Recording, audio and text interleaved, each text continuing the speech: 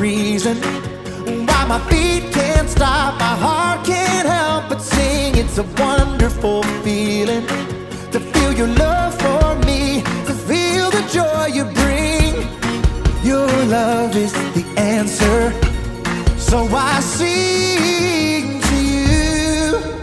The reason is you, Jesus.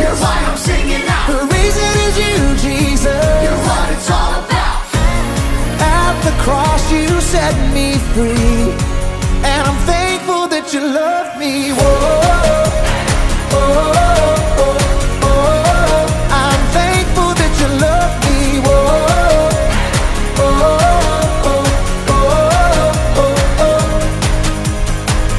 I know the reason why my hands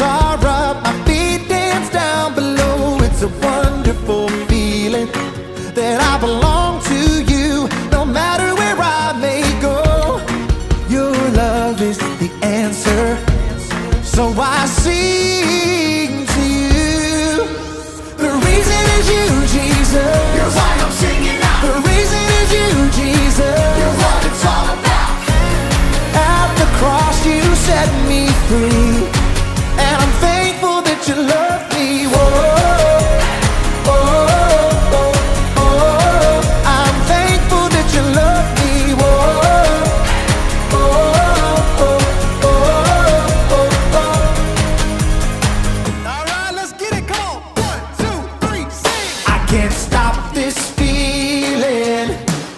Jesus, you're the reason.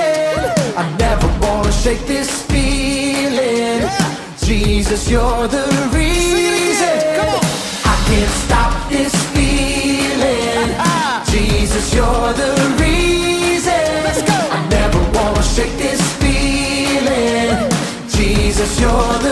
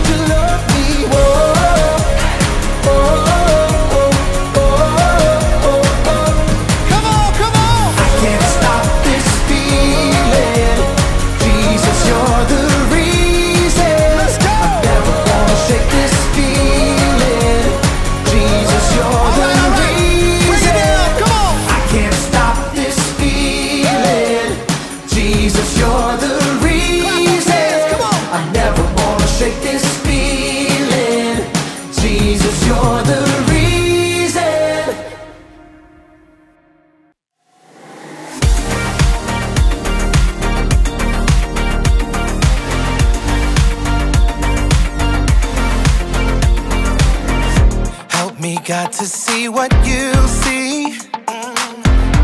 You are doing a great work in me.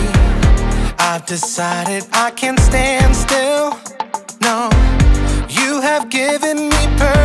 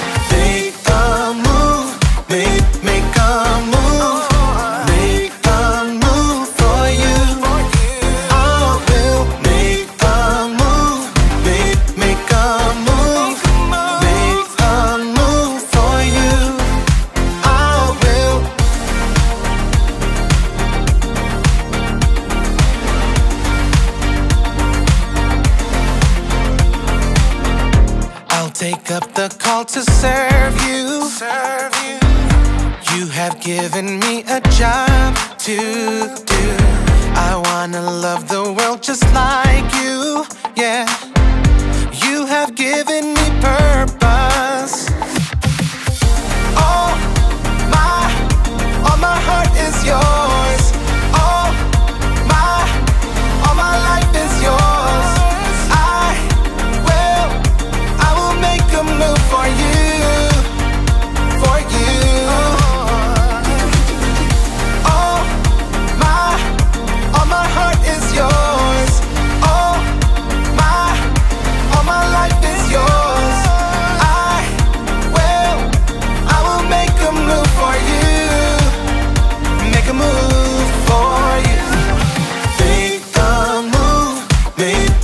amor.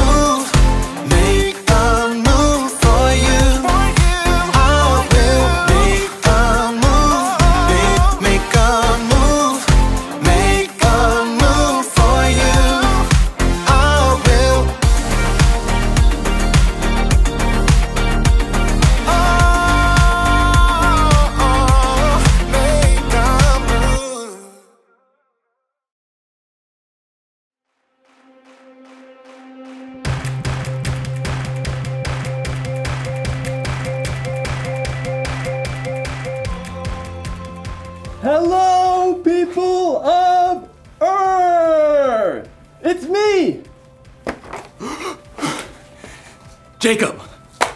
Oh, there it is. That's how I. Nope, that's not it, Jacob. Okay. Okay. Nope, it's back on again. Okay. and I am ready for launch. I mean, not really. I don't actually have a rocket or anything, but I am ready for initiative. Initiative is seeing what needs to be done and doing it. Astronauts are really great at showing initiative. When they see what needs to be done, they don't just ignore it, they do something about it. They even have this thing they do before every launch. It's called a status check, and it works like this. Rocket fuel, check. Oh. Rocket fuel is a go. Red switchy thing, check. Red switchy thing, uh, Red switchy thing is a go. Power thrusters, check. Power thrusters. Power thrusters are a gross. I can't check. I can't check the power thrusters because somebody left a dirty sock here. Well, can you move the dirty sock? I mean, I could, yes, but it's not mine. I didn't leave it here. And so I don't think it's my job to move the sock. I suggest that we halt the launch until whoever left his sock here comes and gets it themselves. Copy that. Holding launch for a dirty sock. Good. Roger that. I wonder how long I'm gonna have to wait for someone to come get this sock. Probably gonna be here for a while. You know what? Today's story is about a guy who saw something that needed to be done, and he did something about it, even though it wasn't his responsibility. Sounds like a great guy. Will somebody come get this sock? It smells. Some people, am I right? Ugh. He poured his heart out to God. Lord, you are a great and wonderful God. See how your people are suffering.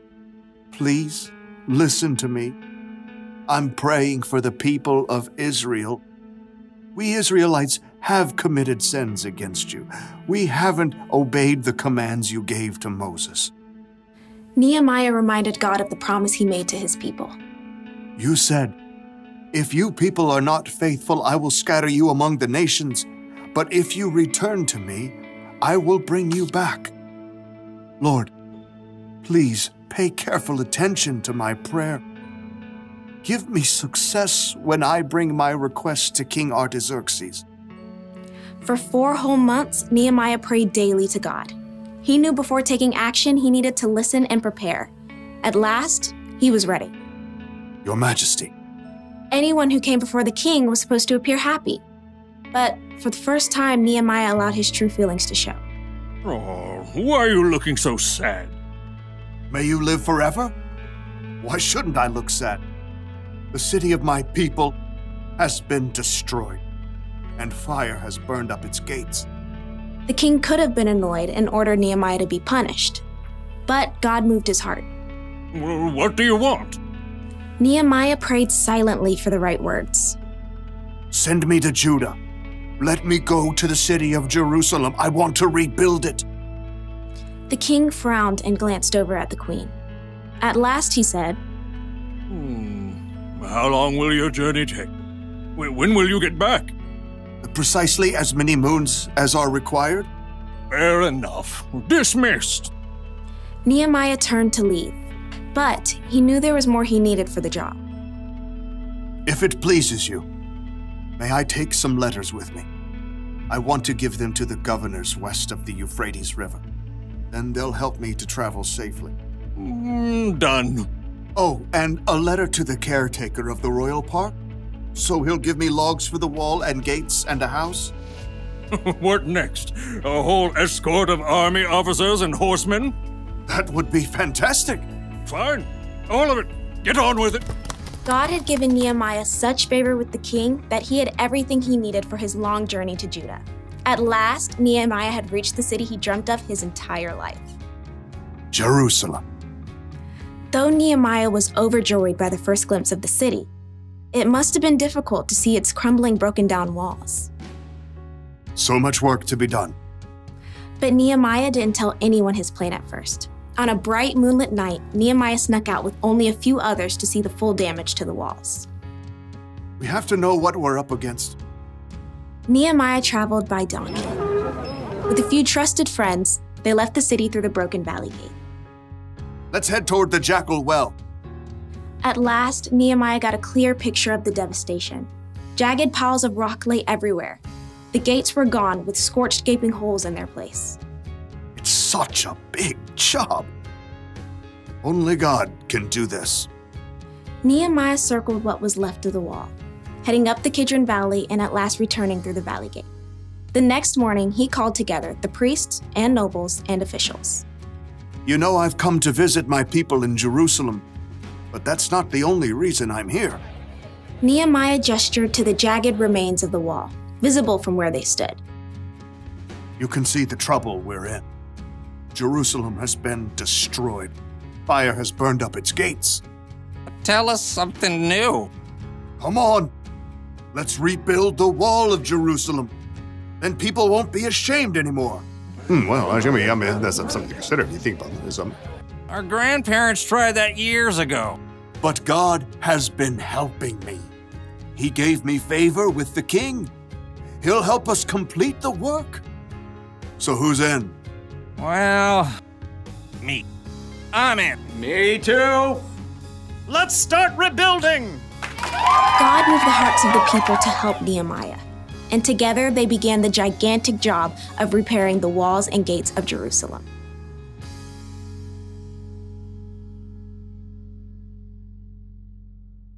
Do you ignore someone else's dirty sock? A lot of people see what needs to be done, but then don't do it because it's not their job. It's not their responsibility. But showing initiative means getting things done, not waiting for someone else to do it. That's what Nehemiah did when he started rebuilding the wall around Jerusalem. It's what Jesus did too. When he saw a need, he did something about it. He healed people who needed healing. He taught people who needed to learn. And Jesus took care of our greatest need when he died on the cross for our sins. So, if you want to show initiative, don't just see what needs to be done, do something about it. Do a status check. Do you see any dirty dishes? Dirty dishes. Oh! Dirty dishes. Cleared away. Check. Do you see any trash? Water bottle? Recycled. Check. Do you see a dirty sock? Dirty socks cleared away, even though it's not my job. Check. Here's the one thing to remember today. Don't wait for someone else to do what needs to be done. Initiative takes a lot of work for sure, but it's worth it. It helps you, it helps other people, and it helps the world. And maybe, just maybe, it can help the universe.